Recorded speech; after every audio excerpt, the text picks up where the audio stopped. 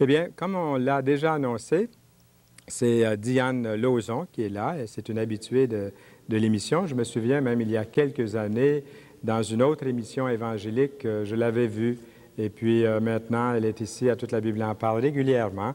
Alors, il nous fait euh, grand plaisir, Madame euh, Diane Lauzon, de vous souhaiter la bienvenue ici à Toute la Bible en parle, comme nous le faisons toutes les deux ou trois semaines pour la chronique de livres. Je vous remercie pour l'invitation.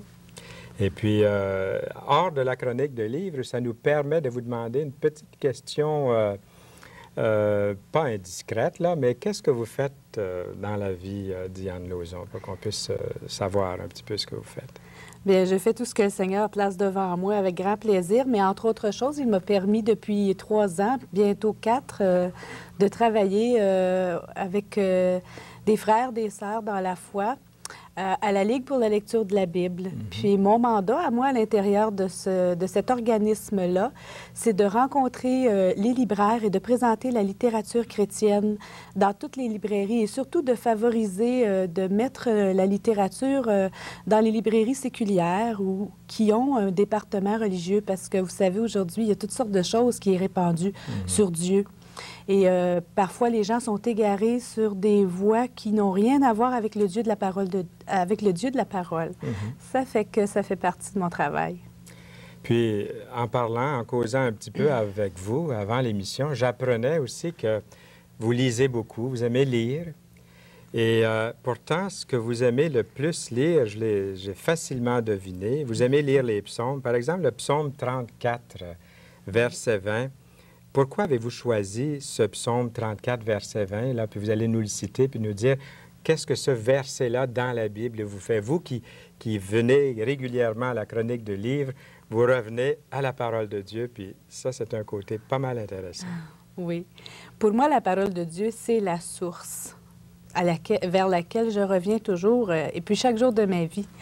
Et euh, le verset que vous me, vous me citez, le malheur atteint souvent le juste, mais l'Éternel l'en délivre toujours, a eu un grand impact dans ma vie et dans mon cheminement chrétien. Parce que quand je suis venue à la foi chrétienne, tout jeune enfant, euh, je croyais que c'était terminé les, les, malheurs ou les épreuves, ou à tout le moins que ça allait être tenu à l'écart de moi. Il y avait quelque chose que j'avais pas saisi et que le Seigneur m'a fait saisir justement à travers les épreuves, c'est sa présence qui euh, il ne nous quitte jamais. Il est avec nous, il chemine avec nous et euh, il se révèle à travers, autant à travers les joies, comme la naissance d'un enfant, comme euh, un mariage ou une réussite. J'apprends aussi à me réjouir dans le Seigneur. Puis comme Paul le disait, en toute chose aussi, je me réjouis en Dieu. Si c'est une épreuve difficile, ça exerce ma foi. Si c'est une situation éprouvante pour la patience, et je me souviens où j'étais une personne qui manquait de patience. C'était pas dans mon caractère ni dans ma personnalité. C'était pas une qualité que j'avais euh, qui On reçoit des qualités en naissant, mais il y en a d'autres qu'on doit acquérir euh, par euh, dans la vie, là, par mhm. les, situations.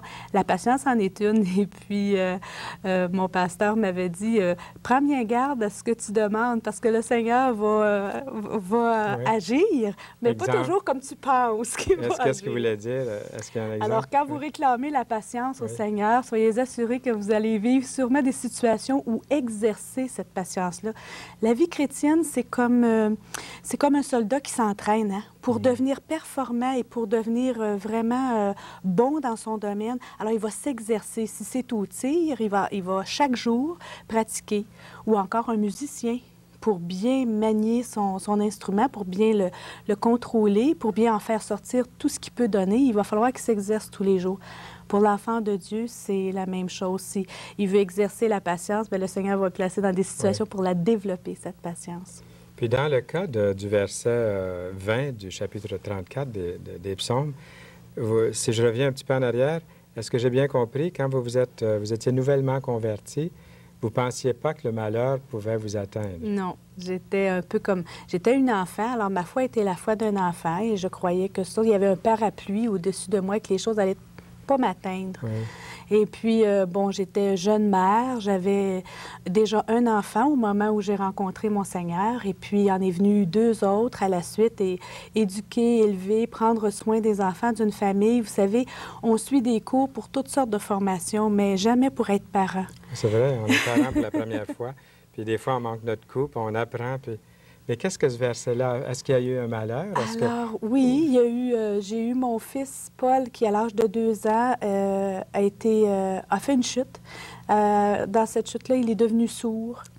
Et ça, ça lui a donné un handicap avec lequel il a fallu apprendre à vivre, il a fallu travailler d'une façon différente avec lui.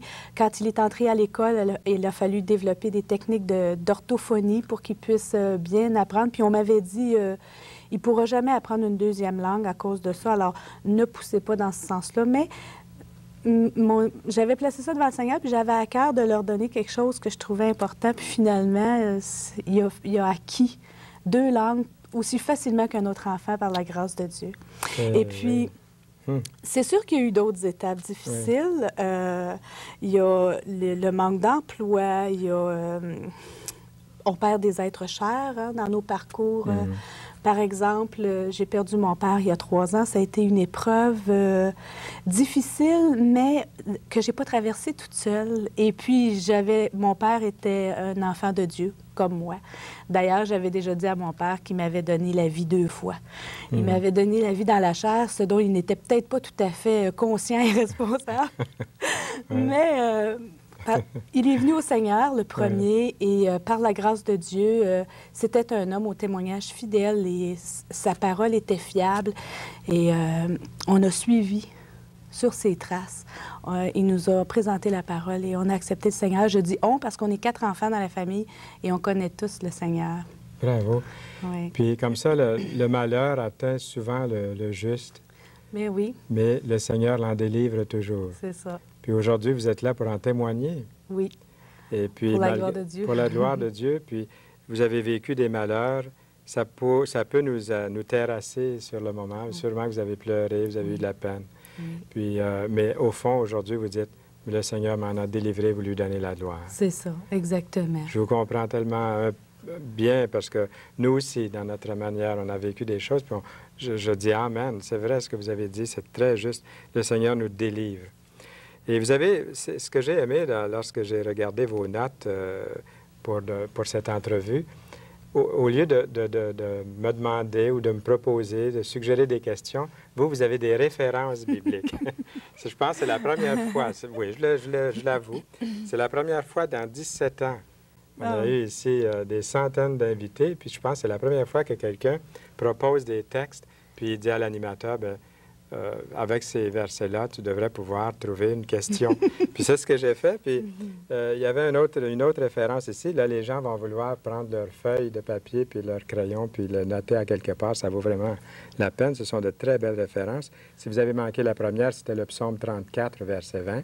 Et la deuxième référence, euh, Diane Lauzon, parle de la puissance de Dieu. Et puis moi, ça m'a amené à poser la question, qu'est-ce que la puissance de Dieu peut faire pour vous, par exemple, dans une restauration euh, ou dans peu importe ce que vous aimeriez nous apporter avec cette référence de 1 Corinthiens, chapitre 2, verset 5. Alors, qu'est-ce que vous, vous nous dites là-dessus? Eh bien, à travers les vicissitudes de la vie, on peut avoir recours à des techniques ou à des soins qui mhm. sont disponibles et qui ne sont pas mauvais en eux-mêmes. Et puis, j'ai trouvé beaucoup de soulagement euh, et de réconfort auprès de, de, gens qui sont formés pour euh, vous montrer... Euh, le, le, vrai poids, parce que souvent on traverse une difficulté ou un problème, on vit de la culpabilité, on est très centré sur soi. C'est comme au lieu d'être une plaie dans la chair, c'est une plaie dans les émotions et on la voit beaucoup moins bien que sur le corps. Alors on la cerne moins, on peut moins bien lui, lui mettre euh, la médication hein, pour mm. la soigner. Alors parfois des gens qui sont formés peuvent nous aider parce que émotionnellement ils ne sont pas impliqués et ils réfléchissent beaucoup plus rationnellement et avec beaucoup plus de logique. Et ça c'est bien. J'approuve ça. Mm. Mais il arrive un moment où la science humaine elle arrive à sa limite et Ouais. elle, elle ne peut pas aller plus loin. Et malgré tous les bons conseils, et même si on est quelqu'un avec de la bonne volonté qui veut s'en sortir, il n'y a pas de puissance dans ces mots-là si l'intervention de Dieu ne se manifeste pas. Mhm. Ce sont des techniques, elles sont bonnes, mais elles n'ont pas de puissance en elles-mêmes. C'est l'Esprit de Dieu en moi qui a permis qu'à travers ces techniques-là, la puissance de Dieu puisse restaurer ma vie. J'ai vécu un divorce il y a cinq ans, après 20 ans de mariage, et je croyais ma vie terminée. Je croyais qu'il n'y avait plus d'avenir pour moi, et je ne voyais pas ce que l'Éternel pouvait restaurer dans toute la dévastation que je ressentais dans ma vie et que je voyais aussi dans mes enfants, dans ma famille, euh, parmi les frères et les sœurs dans la foi qui voyaient ma situation. Et euh, je ne pensais pas à ce moment-là qu'un jour je serais assis ici, que je pourrais en parler comme je le fais maintenant. Et ça, c'est parce que à travers toute cette euh, période vraiment très euh, souffrante, je n'avais qu'une seule pensée et je n'avais qu'un seul recours, la parole de Dieu. Et euh, comme le psaume 34 et beaucoup d'autres, j'ai sondé la parole de Dieu chaque fois que le désespoir glaçait mon cœur et chaque fois que la vie même semblait vouloir m'abandonner. Euh, je saisissais la parole de Dieu et, et jamais Dieu n'a manqué. Je trouvais toujours le, le verset approprié pour me restaurer dans le moment. Et au fur et à mesure des semaines et des mois, j'ai vu comme un miracle. Il y a un verset de la parole qui dit euh, Si vous avez la foi, vous allez voir s'accomplir. Et j'ai vu. Mhm. J'ai vu ce- la puissance de Dieu se manifester comme ça. C'est un verset qui parle de la puissance de Dieu, ça. Euh, 1 Corinthiens 2, 5. Je ne sais pas si on, on aimerait le, le- le citer pour, euh, Oui. pour ceux qui aimeraient l'entendre. Moi, j'ai, j'ai le Nouveau Testament, Bonne Nouvelle aujourd'hui, ici, en français courant. Et puis, euh, c'est 1 Corinthiens, chapitre 2. Les gens qui ont déjà leur Nouveau Testament à la maison, peut-être qu'ils aimeraient euh, le regarder. Mais lisez-le, Diane, je vais voir comment est-ce que c'est que c'est, écrit ici aussi. Euh, je pourrais commencer au verset 3 pour euh, bien voir le contexte où Paul parle. Moi-même, j'étais auprès de vous dans un état de faiblesse, de crainte et de grand tremblement. Ma parole et ma prédication ne reposaient pas sur les discours persuasifs de la sagesse, mais sur une démonstration d'esprit et de puissance, afin que votre foi ne soit pas fondée sur la sagesse des hommes, mais sur la puissance de Dieu. C'est important d'avoir lu ce verset-là. Je pense qu'il est très, très euh, bien, puis ça, ça vient confirmer à 100% ce que vous êtes en train de nous dire. C'est vrai qu'il y a des choses très de, de l'aide, il y en a autour de nous, Oui. mais il n'y en a pas comme la puissance de Dieu. Amen. Vous aviez une autre référence ici, là, qui, euh, qui nous parle de, de travailler à notre salut. Travailler à votre salut, dit Paul, dans Philippiens 2.12. Puis avant l'émission, je vous ai posé la question, qu'est-ce que vous allez nous dire là-dessus? là? Comment est-ce qu'on fait pour travailler à son salut? Alors, je vous écoute. Euh, Il n'y a pas d'outil particulier comme Non. pour un jardinier ou quelque chose comme Non. ça, sauf la parole. Je reviens Mm. toujours à la parole de Dieu. Le meilleur interprète, d'ailleurs, c'est toujours la Bible hein, qui s'interprète elle-même. C'est ça, vous avez raison là-dessus et je vous appuie. Euh, travailler à votre salut avec crainte et tremblement, c'est que je prends conscience à- en lisant la parole de Dieu et en la vivant et en cherchant euh, à, le- à- à- à- à la- à ce qu'elle soit manifeste dans ma vie. Euh, non pas que je peux ajouter à ce que Christ a déjà parfaitement accompli sur la croix, mais que je peux démontrer aux autres Ah oui. la réalité. C'est une bonne nuance à, à Voilà. faire, là. Alors moi, je me sens comme si je suis euh, le reflet de ce qu'est Jésus et de ce qu'il peut accomplir dans une vie qui lui est confiée et qui s'abandonne à lui. Et j'ai pas de mérite à ça parce que dans mon cheminement, ça, ça ne vient pas de moi. Tout ça vient de ce que Dieu est fidèle et j'ai éprouvé la fidélité de Dieu tout au long depuis euh, 22 ans maintenant que je connais le Seigneur à peu près. Euh, j'ai éprouvé, éprouvé et son- sondé la parole de Dieu et je l'ai vu manifester dans ma vie. Et si on dit qu'on y travaille avec tremblement, c'est quand on prend conscience de l'impact que ça peut avoir autour de nous, ce- cette relation-là et ce témoignage-là, et d'être ce reflet-là. Est-ce qu'il vous vient quelque chose en particulier dans vos 22 ans qui, qui viendrait illustrer ce que vous dites là? En particulier, quelque chose? Vous l'avez mis à l'épreuve? Oui. un, jour dans quelque chose de... On n'a pas beaucoup de temps pour en parler en détail, mais euh, on sera ici toute la soirée puis toute la journée demain, c'est certain. Euh, les gens qui ont vu les, les atteintes que la vie m'a portées, euh, surtout dans ma famille et dans la famille chrétienne où je, je vis ma foi à l'Église ou dans les différents milieux où le Seigneur me permet d'exercer un ministère et de m'impliquer, ont été renforcés de voir comment le Seigneur pouvait être à l'œuvre si toute mon espérance était en lui. Et il y a des gens qui sont venus me voir et qui m'ont dit euh, Diane, on est stupéfait. Euh, pour nous, là, tu es euh, la manifestation là, de ce que Dieu fait pour quelqu'un. Moi, je n'étais pas consciente de ça au moment où je le vivais. J'étais tellement tellement souffrante et blessée que je me rendais pas compte que même si moi, parfois il y a des gens qui disent ben je vais pas à l'église ou je rencontre pas les gens parce que je souffre, je pleure, j'ai les yeux un peu rouges, puis euh, mais vous savez... Euh... Un peu plus de, de, poudre à ces endroits-là. Hein? oui, mais même pas. Je ne chercherai même pas à le dissimuler parce que Jésus non plus n'a jamais cherché à dissimuler quand il a vu mhm. euh, son ami Lazare, par exemple. Il a été ému et il a versé des larmes. Mhm. Et comme c'est mon modèle, je n'ai pas de honte à verser des, des larmes. C'est sûr qu'il ne faut pas verser... C'est pas... De, pleurer émotivement sur toute chose, mais être ému devant Dieu euh, de son action, soit en moi, soit dans ceux, qui m'entourent, euh, je me permets de, de, verser des larmes. Il nous reste seulement qu'à peu près une minute de notre entretien avec une belle référence que nous avons là. J'étais en train de penser, tous ces avantages que vous avez de la vie chrétienne aujourd'hui, c'est parce qu'un jour, vous avez invité Jésus-Christ comme sauveur dans votre vie. C'est ça. Les gens, ils vont dire, j'aimerais ça, moi, j'aimerais ça avoir ça, là.